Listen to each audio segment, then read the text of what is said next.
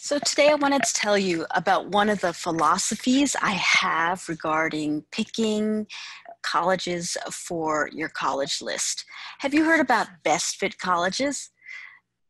I believe that you should have three critical points balanced in order to uh, find the best fit colleges.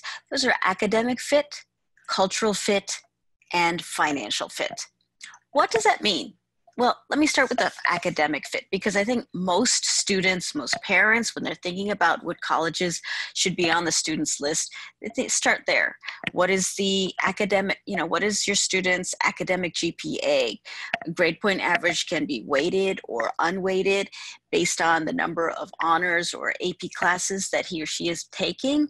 Um, it can also relate to a potential major. If they have an idea about any professional degrees they may, you know, want to pursue, medical school or law school or uh, masters or anything like that.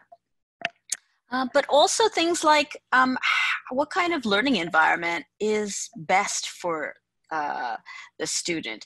Some kids do better in smaller environments, and some kids do better in larger environments. So think about when you're, uh, you know, in high school, you may just have 30 kids in the class, but in college, you can have lectures with literally hundreds of students, 500 students, eh, as well as discussion sessions with 10 students. So think about which one would be a better learning environment for kids if um, and then and then uh, have a determination about academic fit. Another thing is open and closed classrooms right? Uh, when i say open classrooms or open i should say open curriculum uh, the curriculum is very very very you know can be interdisciplinary unstructured. You, the student gets to select what kind of classes to take. Uh, the opposite would be uh, a school with a core curriculum, meaning there are a lot of required classes uh, and you know you don't have as much freedom. That has nothing to do with the quality of education it's just a, a different schools have different personalities. So you just want to have an understanding of what the school's offerings are and make sure that it matches the students needs the second topic is cultural fit or social fit because, you know, college is more than just the academics, right? Uh, just like when your student is in high school, they have a rich extracurricular life. Well, if those act- extracurricular activities uh, are interesting, you probably want to continue them in college. So, whether they are uh, athletics or music or art or debate or robotics or languages or anything else uh, that makes you know it, it makes that environment great, the experience great in high school. You want to continue that in college. But there's also other things. Uh, many times you're going to go to a place different from home. How, what is your comfort zone with regard to distance from home? Mm, should it be in the same, uh, like say Northern California, within the state, adjacent states, West Coast, East Coast, there's lots of things.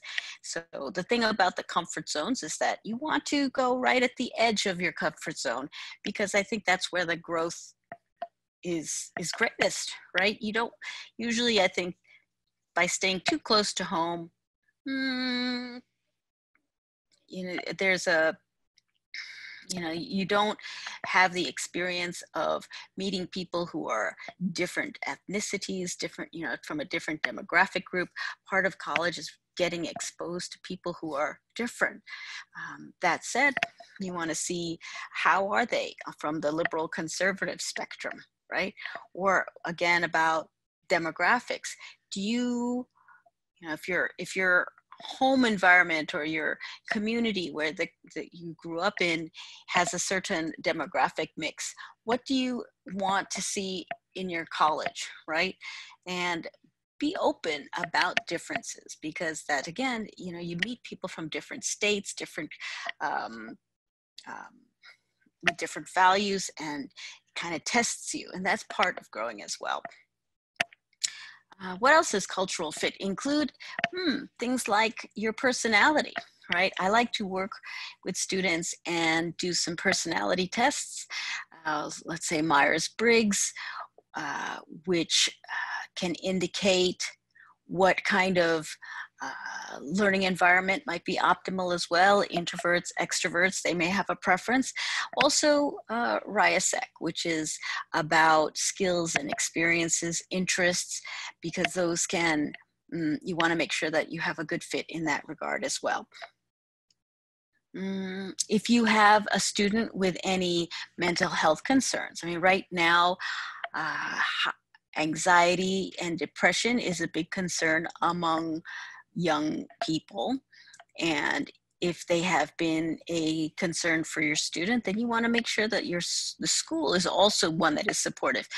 Different schools have different reputations regarding stress and how they take care of their students.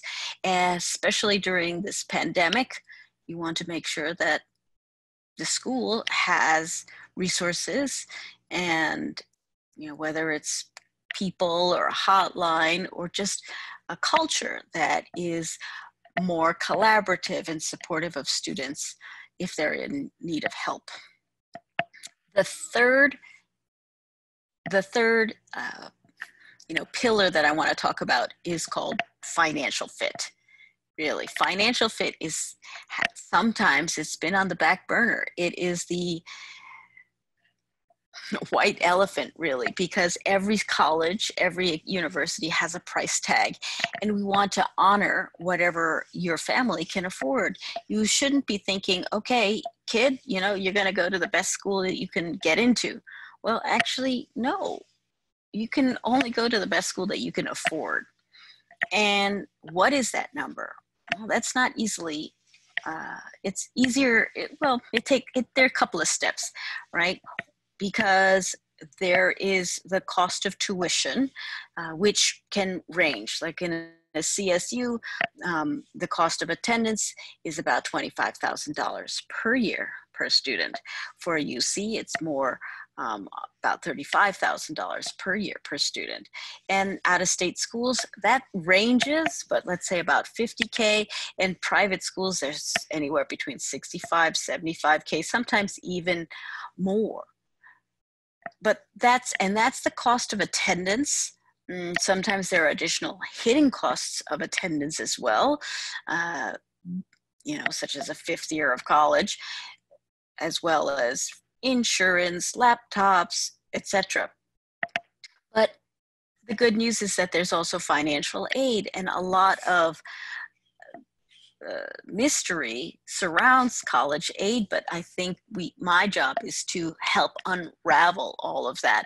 So whether you're talking about the need-based aid which is which means that need is basically on a sliding scale or you're talking about merit aid which is for students based on merit academic merit athletic merit leadership merit, things like that.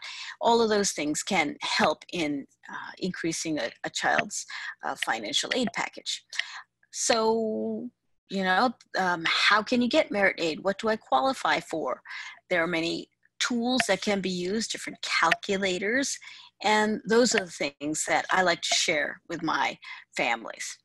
So there you have it. Those are the three pillars that make up the the, basically the formula for finding best fit colleges for your college list academic fit, cultural fit, and financial fit. If you are interested in learning more or hearing about these topics, I encourage you to to check out my college knowledge webinars. Uh, I have a series of webinars related to college research as well as financial literacy. These are really uh, timely topics any year, but particularly so this year because of the pandemic. We really have to make sure that you build a correct list, again, that has, um, you know, reach schools, high targets, targets, as well as likely schools, because uh, no one wants to get admitted to school and then at the very last minute, you know, finding out that your family can't afford the dream school right? So that that's basically the a, a terrible scenario that every family should avoid. So part of this involves having heart to heart conversations about all of these things.